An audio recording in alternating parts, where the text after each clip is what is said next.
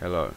Right now, how to put up a website for free with a also put websites on this web websites ads on this website. Right. Go into Dropbox, register an account, add all your remaining files you have for your website. So let me find this add everything you have for your website, upload it to Dropbox, and then register with mod modify your domain. Go to domain forwarding, add your public Dropbox link to your HTML file, so copy public link,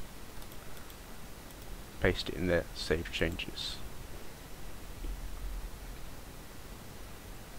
And once you've done that, you're done.